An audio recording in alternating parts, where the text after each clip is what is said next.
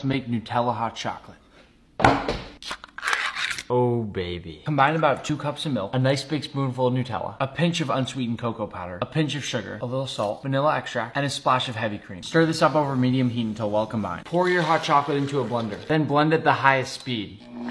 Coat the lid of your mug in Nutella. Pour in your hot chocolate. Add a homemade marshmallow and give it a quick torch. Then finish with some crushed candy cane. Hot chocolate just doesn't get better than this. Mm. Let me show you how to make these cheese potato pouches. First, peel 3 potatoes, cut, boil, and drain them. And then add 3 tablespoons of cornstarch or potato starch. Mash them up, add salt and pepper, and mix until you get this soft, pillowy texture.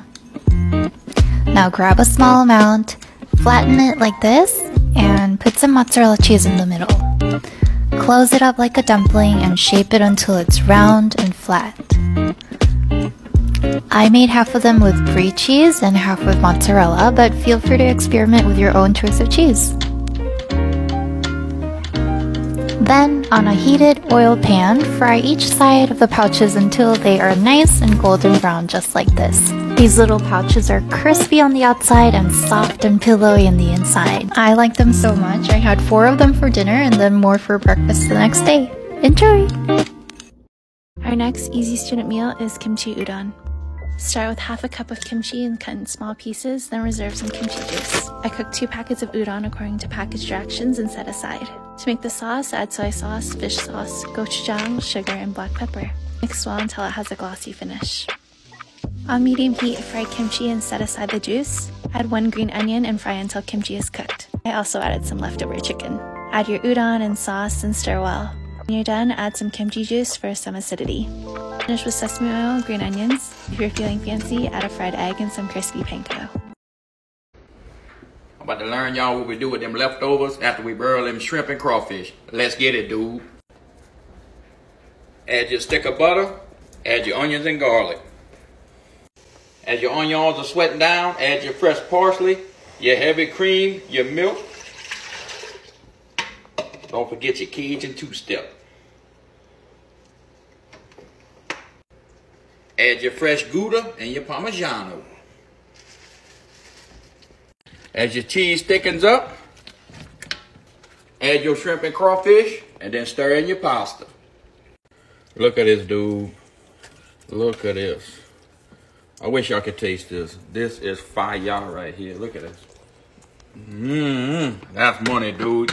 You right. I'm gonna put that on a cracker, dude. Mmm. Mmm.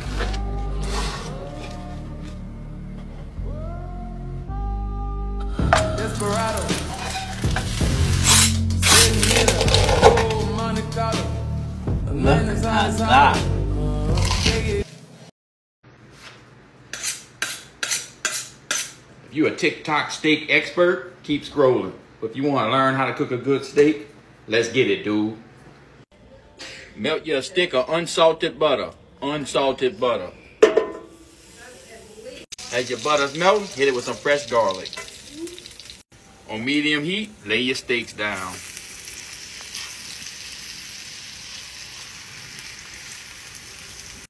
Give them about three minutes, flip them, and then start basting. It's time to hit that seal.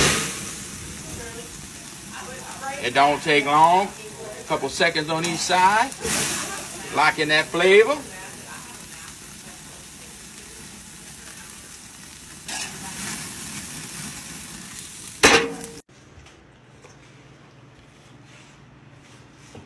Money, dude. You guys ever had fried pickles? They're usually breaded, and of course, they're not low carb. We're to start off by using some Mexican style blend shredded cheese. We're to coat the bottom. Now we're to get our pickles. Add more cheese on top.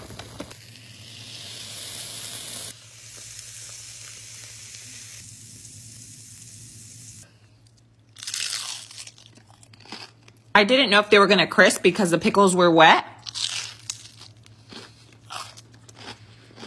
But they still did.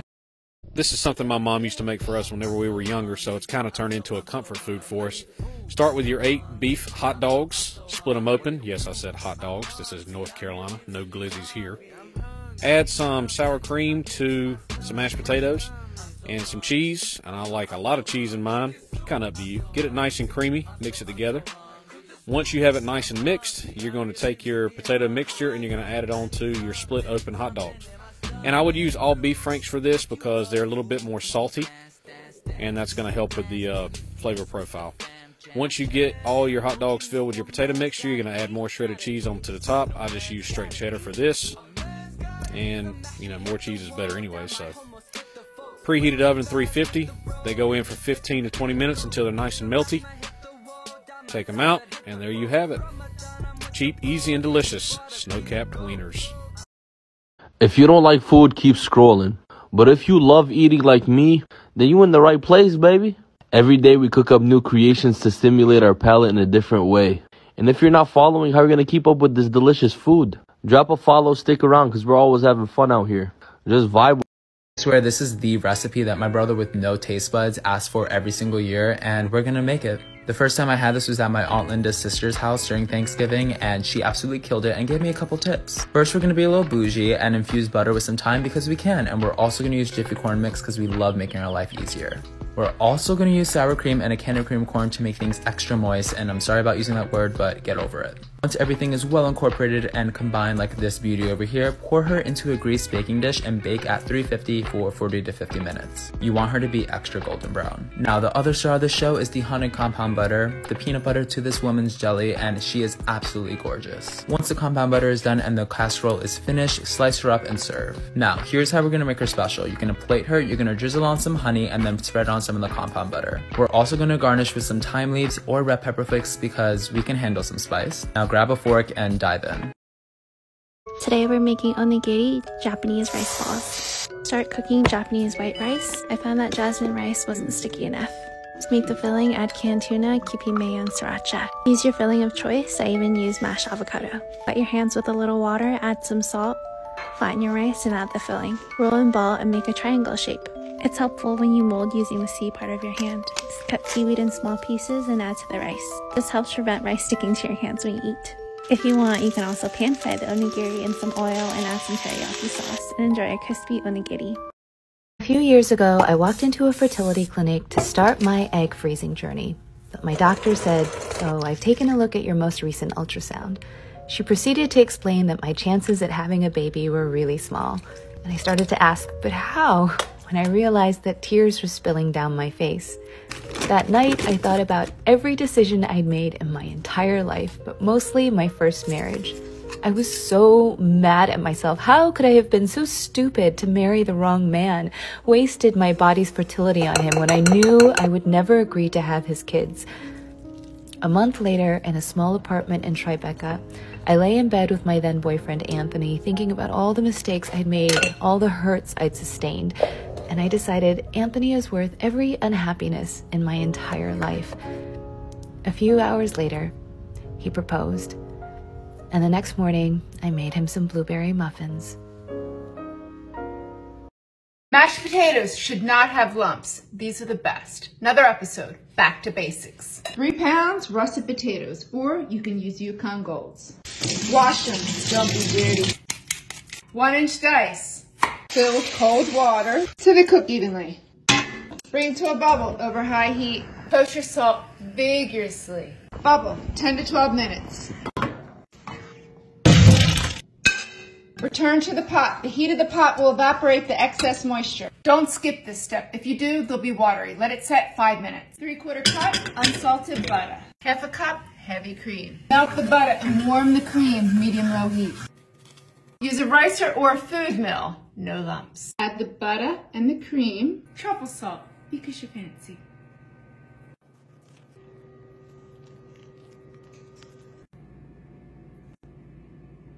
Truffle oil because you're extra fancy.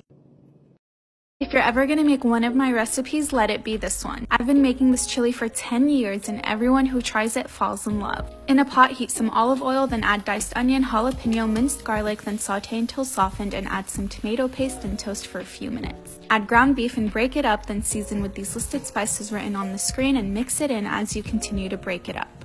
Season with salt to taste, then add some tomato sauce, crushed tomato, and diced tomato. Mix it in, then add in 2 cups of chicken broth and 3 types of beans. Now cover and let it boil on medium heat for 10 minutes, then uncover and add 2 more cups of chicken broth and some salt to taste, then let it come to a boil, then simmer on low heat for 30 minutes. Top with your favorite toppings, and I love to serve it with some cornbread. Enjoy!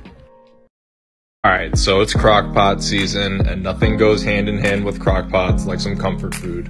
And today's comfort food of choice is chicken pot pie. Literally one of my favorite foods of all time. We're gonna start out by making a mirepoix of carrots, onions, celery, some diced chicken breast, slow cooking that, and then we're gonna gradually add some flour and Parmesan cheese until we have a nice gravy-like consistency and your chicken is falling apart. Next, I'm just using some store-bought pie crust. Gonna get that nice and formed inside the dish. Fill your pie with all that goodness. Use an egg wash as a binder to get that top crust on there. More egg wash on top, which will give it that nice golden brown color.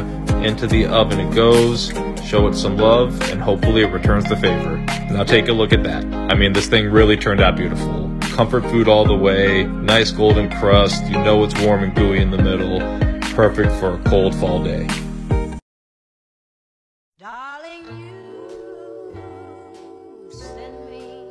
This is dedicated to my Grandma Betty, or Gram as we used to call her.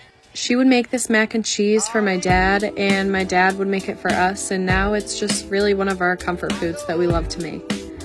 It's pretty simple and only calls for a few ingredients, but if you want to make a mac and cheese as perfect as this one, you just have to pay attention to the details of the process. We'll be posting this recipe soon on our Instagram. Yes, I do the cooking with two S's and two G's for everyone to enjoy.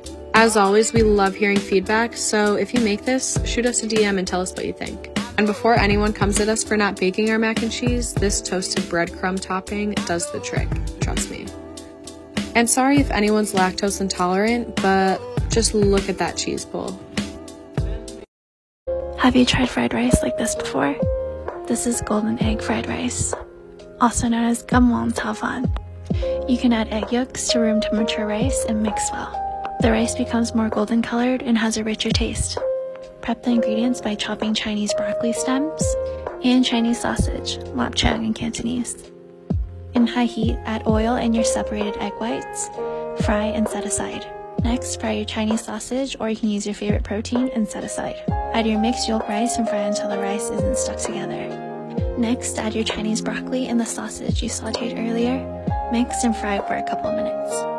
Add some soy sauce and some sugar. Add back the egg whites and chopped green onions. Final stir and you're done. Try this rice if you haven't already. I have been wanting to try the Disney grilled cheese for a while, so here it is, the Kitchen Witch version. I took a quarter cup of mayo and half a clove of garlic, used a microplane to get that into a nice paste and mixed it well. And then I took a third a cup of softened cream cheese, a quarter cup of shredded white cheddar, a little bit of chili flakes, and a nice pinch of some sea salt.